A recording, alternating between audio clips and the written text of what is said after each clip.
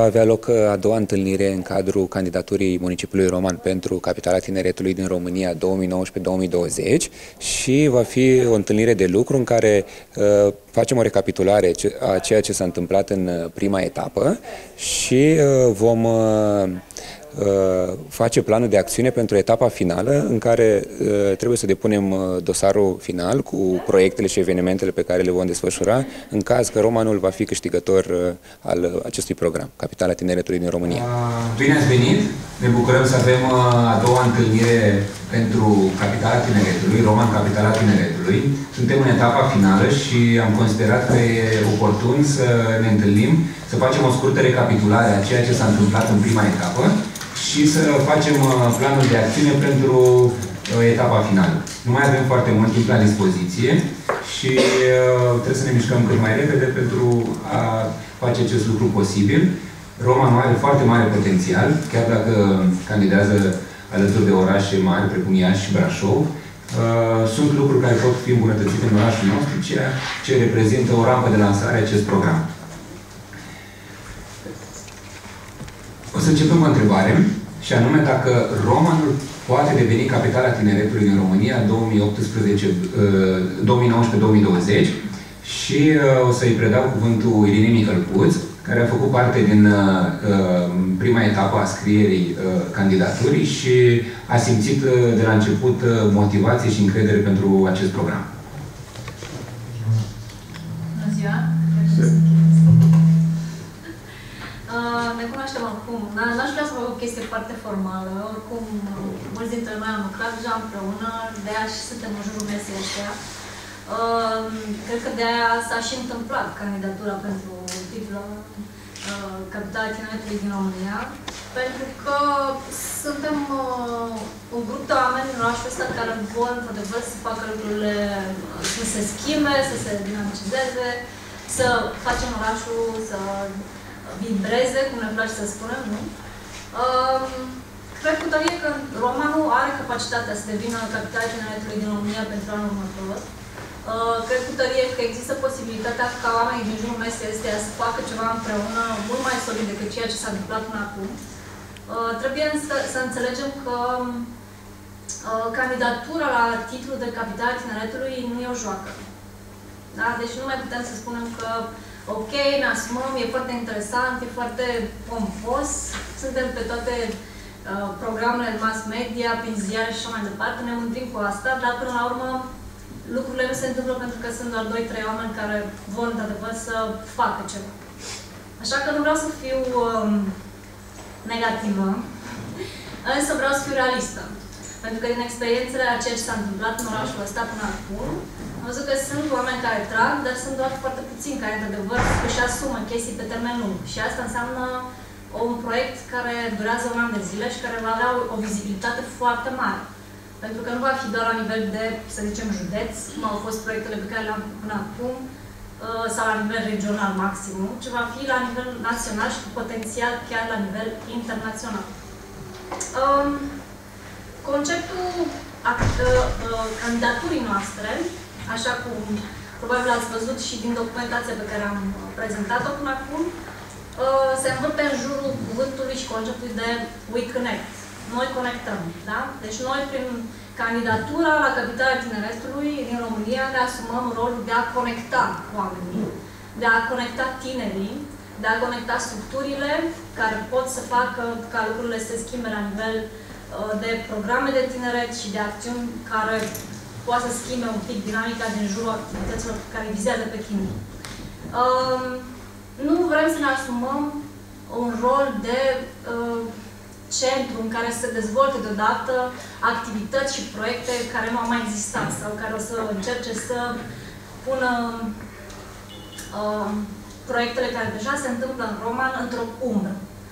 Vrem să creăm o platformă în care tinerii din România pot să se întâlnească, pot să învețe unii de la alții, pot să se inspire unii pe alții și pot ei să devină promotorii schimbărilor în comunitățile unde trăiesc. De aia romanul va avea un rol de conectare, da? Și din punct de vedere logistic, din punct de vedere regional, noi, ca oraș, suntem în centrul Moldovei, suntem foarte bine conectați și avem potențialul de a pune energiile împreună astfel încât să putem să facem o schimbare. Aici aș vrea să mai ating doar un punct foarte esențial. Ce ne dorim noi cu candidatura asta nu e să creăm concepte noi, ci vrem să um, dăm șansa la 100 de tineri din Roman să devină ei promotorii schimbării, să devină ei cei care vor să facă o schimbare în jurul lor și în comunitățile lor, uh, să devină ei cei care au curajul de a cere ajutor atunci când văd că nu poate să reușească să facă lucruri singuri și vrem ca prin uh, umbrela capitalei tineretului din România și prin vizibilitatea pe care capitala tineretului din România o va da orașului nostru, să conectăm o mie de tineri la nivel național, care ei să fie cei ce răspândesc schimbarea în comunitățile lor. Asta e ideea din spatele proiectului și al conceptului. Și astăzi ar trebui să ne dăm seama dacă într-adevăr putem să ne asumăm rolul ăsta. Și dacă suntem în stare noi, ca entități juridice, non-juridice, non-guvernamentale, persoane fizice, oameni din administrația locală, să ne asumăm rolul ăsta, de a face o schimbare la nivel, de local, de, la nivel local, dar și la nivel național și internațional. Cam asta e. Și trebuie să simțim dacă putem să participăm. Cu adevărat. Eu simt că se poate. Deci, sunt foarte așa formală și pornită, dar vreau ca într-adevăr să simțim că capitala tineretului va face o schimbare a ceea ce înseamnă orașul roman și să le spunem tuturor celor care se întreabă, băi, dar unde e orașul ăsta? Și ce caute ei la titulatura asta? Și să le spunem, da, mă, avem posibilitate, avem capacitate și nu trebuie să fii oraș reședință de județ, nu trebuie să fii oraș universitar, ca să dai un exemplu. Și noi chiar pe partea asta putem să mergem și să uh, chiar simțim că vom avea șanse să câștigăm în fața Brașovului și a Iașului, pentru că e un oraș care are tupeu, are curaj, are oameni care pot să facă și să spună într-adevăr, noi putem să contagiem și alte orașe de dimensiunile orașului roman, sau poate și mai mici, să fie ele însele schimbări în zonele unde sunt. Așa că, yes we can! Mulțumesc! Iar noi avem un uh, mare avantaj pentru că evenimente pe care comunitatea de uh, organizații non-guvernamentale le-a organizat în ultima perioadă sunt deja la a treia, la a patra ediție și atunci avem experiență și avem un portofoliu cu care putem să ne prezentăm din punct de vedere local. Programul va permite să uh, aducem și evenimente la nivel uh, național. Dar cel mai important e partea noastră uh, locală. Uh, mai sus uh, vedeți exact comunitatea ONG-urilor care au susținut candidatura din uh, prima etapă și uh, încurajarea mea e că uh, este deschis ca orice ONG uh, din Roman și nu numai, din regiunea Moldovei, să poată să vină și să contribuie la capitala tineretului din România. Acest uh, program este cumva o asumare comună între sectorul uh, ONG și uh, municipalitate. Municipalitatea în calitate de partener principal și coorganizator. Uh, vrem să reactivăm Consiliul Consultativ pe uh, probleme de tineret și, uh, de ce nu, să departamente din cadrul primăriei să contribuie la acest program. Programul este supervizat de guvernanță, de o guvernanță alcătuită din Consiliul Tineretului din România, cel care a și înființat acest program național, Uh, de Federația Tinerilor din Cluj, uh, grupul PONT și uh, BCR în calitate de sponsor principal. Ei oferă și, o, și un sprijin financiar la începutul candidaturii. Cum spunea și Irina, conceptul nostru se bazează pe conectare. E cel mai important să creăm contexte în care tinerii Uh, și nu numai, uh, pot dezvolta proiecte, pot dezvolta uh, evenimente care să aibă impact relevant în comunitate. Și nu e vorba despre doar un an de zile, e un program care oferă o continuitate pe termen mediu și lung și ajută foarte mult orașele mici să se dezvolte. De asta considerăm că e un moment oportun pentru noi să candidăm și să, și să câștigăm pilonii uh, pe care uh, se bazează această candidatură, pe care am scris în prima etapă, dar care pot fi îmbunătățiți și uh, se mai pot adăuga în etapa finală. Uh, important este să eliminăm partea asta de nepăsare a tinerilor, că bă, ce să mă implic eu, că mai degrabă îmi văd de uh, alte ale mele. Uh, e un uh, sindrom comun. Uh, e un singur nucleu care face, se implică în mai multe ONG-uri de tineri și um, ar trebui să atragem cât mai mulți tineri uh, ca voluntari, ca organizatori, ca uh, pur și simplu membri consultativi care pot da idei pentru acest program, să implicăm în programul Capitalei. Și atunci acești tineri trebuie uh, să le dăm încrederea că au forța necesară și să-i formăm.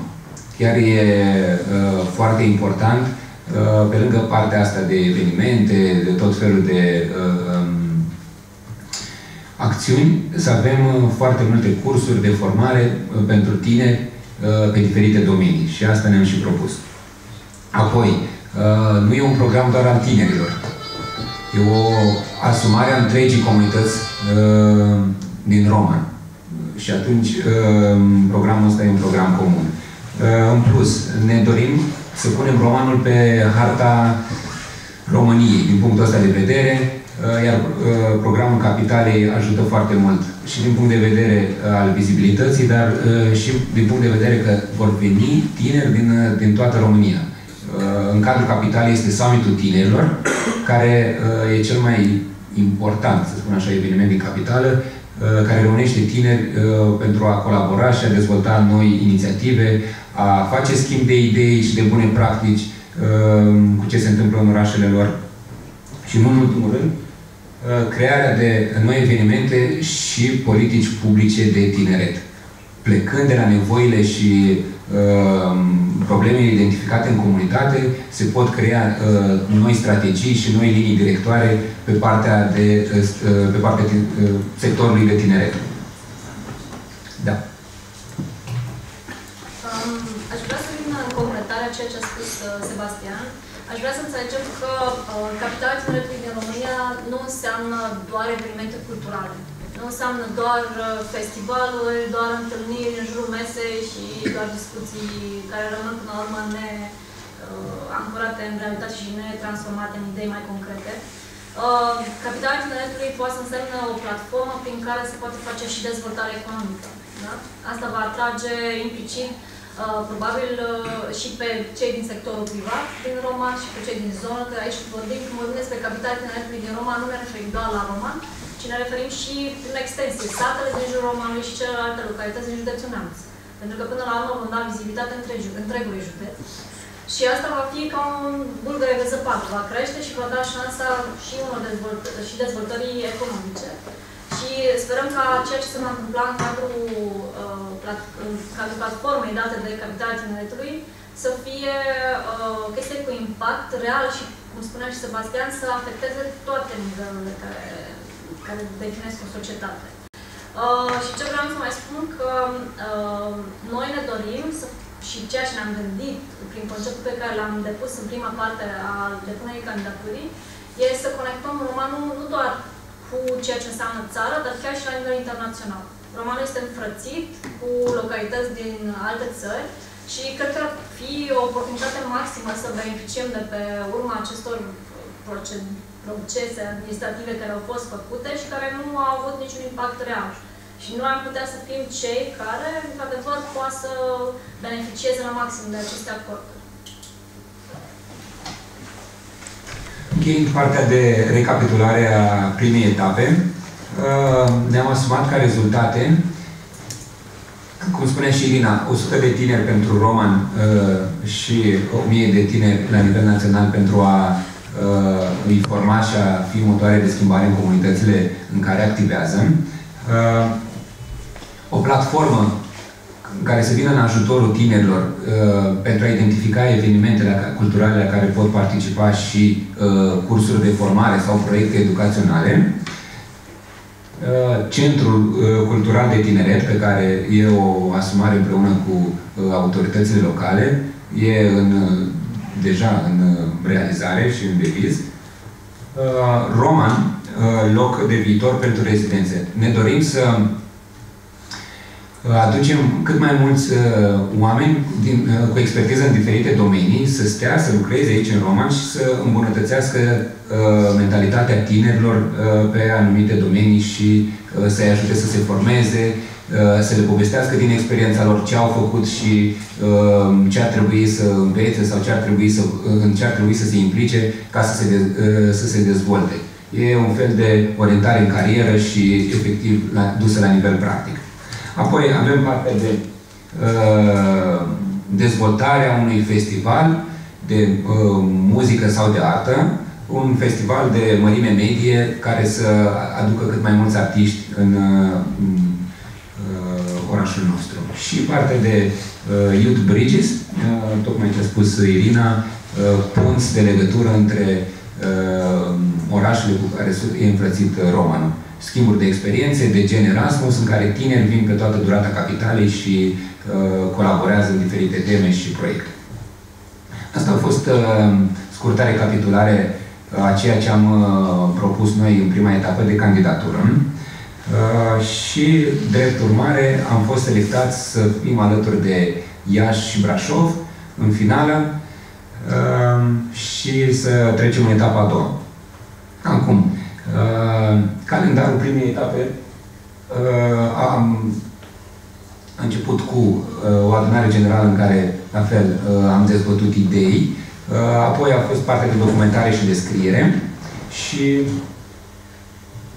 depunerea candidaturii, anunțarea orașului uh, și uh, acum suntem practic la a doua întâlnire. Uh, urmează partea de documentare și descriere, Uh, a etapei a doua, uh, care se va desfășura de astăzi, începând până pe 8 octombrie, când e termenul limită de depunere a uh, candidaturii.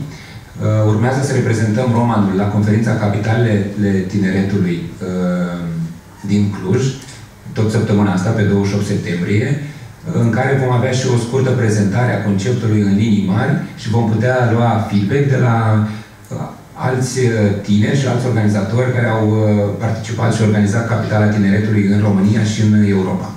Și vom întâlni uh, foarte mulți uh, oameni care ne pot ajuta uh, pe partea de feedback și pe partea de bune practici. Uh, iar la uh, final, uh, la summitul tinerilor, pe 11 noiembrie, se va decide uh, câștigă, orașul câștigător care va fi capitala tineretului. Acum, uh, aș vrea să-i dau cuvântul și Andei, să ne spună, pentru că și el a făcut parte din uh, uh, prima etapă, cum simte ea capitala tineretului uh, din punct de vedere al unui licean care chiar se implică și face lucruri faine în ONG-ul pe care îl reprezintă. Ok. Uh, mulțumesc mult, nu mă așteptam să vorbesc sincer. Uh, ce pot să spun? În primul rând să mă prezint. Uh, numele meu este Anda și sunt președinte în cadrul Asociației Tineretului din România, cu Roman. Uh, eu fac parte din asociația asta de voluntariat de undeva din 2015-2016 și, sincer, eu simt proiectul ăsta la care lucrăm acum împreună toate asociațiile foarte puternic. Uh, e o inițiativă pentru mine nouă și totodată simt că are o bază care stă în spatele experienței fiecăruia dintre noi, fiecare asociație pe care o reprezentăm, uh, foarte multă diversitate și, nu în ultimul rând, uh, simt că din ce în ce mai mulți tineri își doresc ca uh, fie dacă o să avem sau nu oportunitatea să câștigăm titlul de capitală a tineretului, tot mai mulți tineri vor să schimbe comunitatea actuală, vor să facă mai multe lucruri, să aibă parte de mai multe oportunități și cumva să facă un mic progres în ceea ce ține de proiectele la care luăm parte sau pe care le facilităm și eu chiar cred în proiectul pe care îl avem și consider că avem destul de multe șanse să câștigăm. Cam atât. Dacă mai e ceva. Mulțumim, Anda. Vreau să dau cuvântul și lui uh, Petru Turcano. Tot a făcut parte din prima etapă și aș vrea să ne spună părerea și susținerea lui. Uh, salutare! Uh, sunt Pedrică de la Fundația Muriando. Nu mă așteptam nici să vorbesc. Asta surpriză după surprize. Da, eu cred foarte mult că fiecare asociație în parte cu care am lucrat în, în lunile trecute uh, au ceva ce poate dori celorlalți și împreună să, să ne unim spre un scop, un scop comun.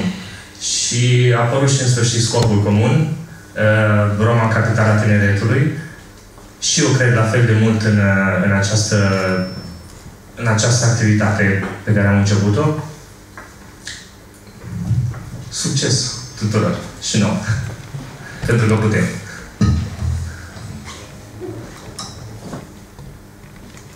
Uh, urmează Răzvan și apoi Cătălina, ca să nu mai fie surpriză. Am vrut chiar să luăm niște idei și niște păreri la uh, cald și fix oamenii să spună și să transmită ce simt în momentul ăsta. De asta a fost o mică surpriză. Uh, eu pot să spun că deja mă așteptam. Uh, vreau în primul rând să vă mulțumesc. Mulțumesc pentru proiectul ăsta. Mulțumesc că ne-ați dat și nouă, celor uh, din Asociația Tinerilor Ortodoxi Sfinții Voievozi, din Roma, în ocazia să participăm la el. Uh, mulțumim uh, municipalității pentru sprijin și eu chiar cred că este un proiect de viitor. Este un proiect prin care Roma nu are de câștigat și, în special, tinerii au de câștigat. Este un proiect prin care uh, fiecare tânăr va avea o posibilitate. Se va aprinde acolo un, un licăr de speranță pentru el. Și chiar simt că o să ne conectăm foarte, foarte bine. Deja noi suntem conectați aici. Deja facem, uh, facem parte dintr-o echipă. Și cred că o să se consolideze din ce în ce mai bine această echipă și cu toții, aducându-ne fiecare aportul, cred că o să câștigăm capitala tineret. Chiar cred că o să câștigăm. Și făcând parte dintr-o, să zic, uh, mai nou, dintr-o organizație care formează tineri, sunt la rândul meu și formator și chiar vreau să-mi uh, pun uh, tot timpul și tot, nu știu, tot talentul, să zic așa, în sprijinul celor 100 de tineri și vreau să fac parte din echipa de formatori care o să, să sprijine tot proiectul. Mulțumesc frumos!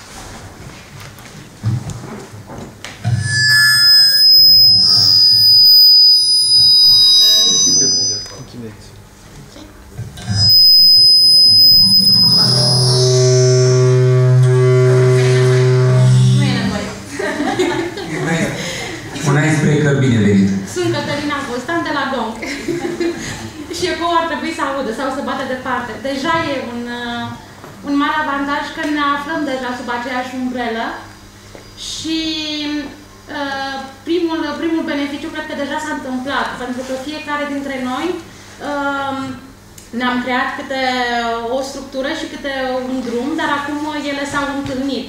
Și ne, ne aflăm cu toții la această frumoasă um, răspântie de drumuri unde se întâlnesc și unde văd din ce în ce mai mulți oameni doritori de schimbare, dar uh, din ce în ce mai mulți tineri implicați, care doresc să, să-și aducă aportul, să se dezvolte și să-și dezvolte și comunitatea din care fac parte. Am plecat cu da, mult, uh, cu un mare da la acest drum și mm, voi fi alături uh, de acest proiect cu, cu toată disponibilitatea și cu tot timpul pe care îl pot acorda. Cred că ar fi important de exemplu să, să ne prezentăm toți cei care suntem aici, ca să știm, în sensul de asociații, pentru că mai sunt și cei care s-au echip proiectului din MES și nu ne știm neapărat, poate că nu am colaborat. Lucian, poate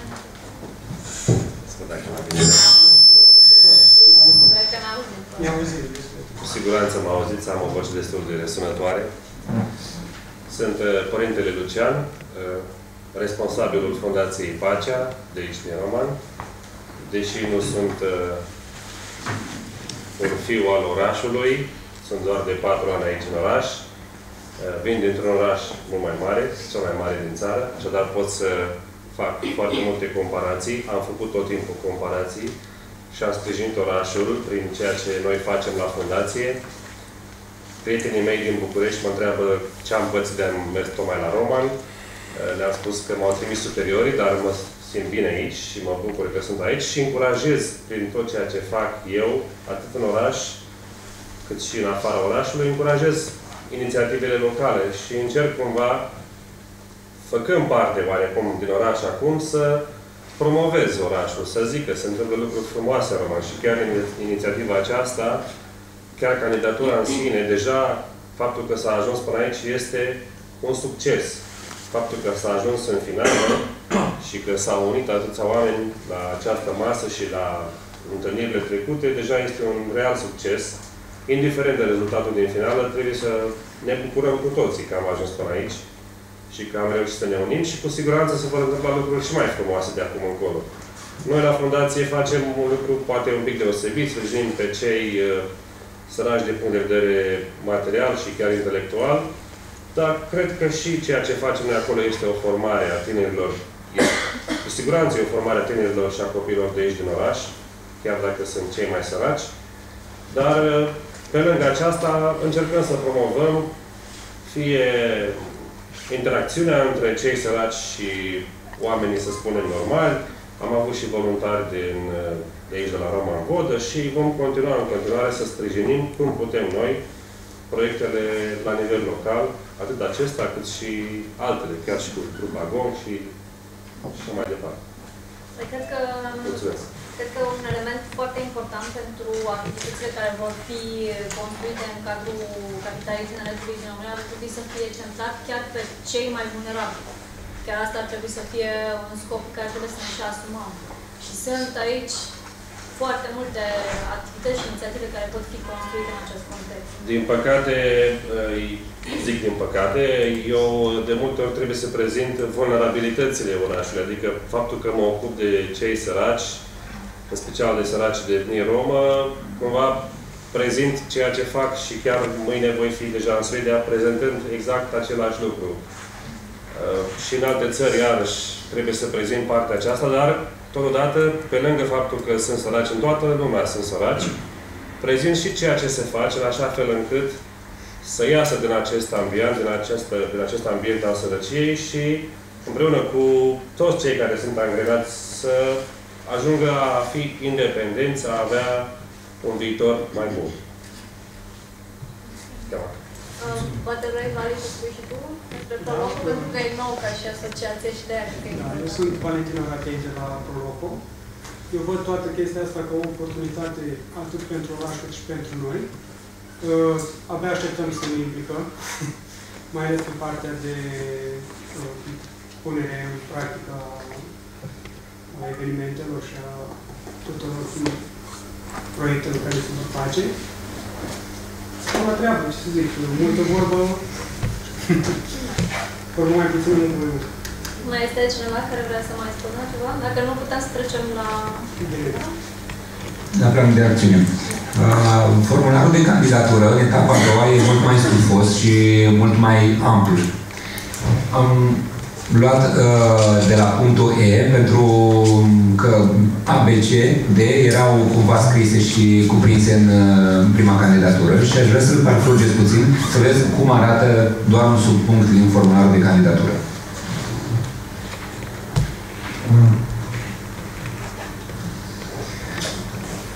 Aici că e partea de management, uh, cu siguranță ar trebui să ne organizăm sau să ne coalizăm într-o federație, fundație, fie ea județeană sau comunitară. Și uh, sper eu să reușim să aducem câțiva membri care au făcut deja sau care sunt reprezentanți a unei fundații să ne povestească sau ne, să ne spună exact ce ar presupune lucrul acesta în vederea uh, capitalei tineretului, coordonării. Apoi, partea de colaborare.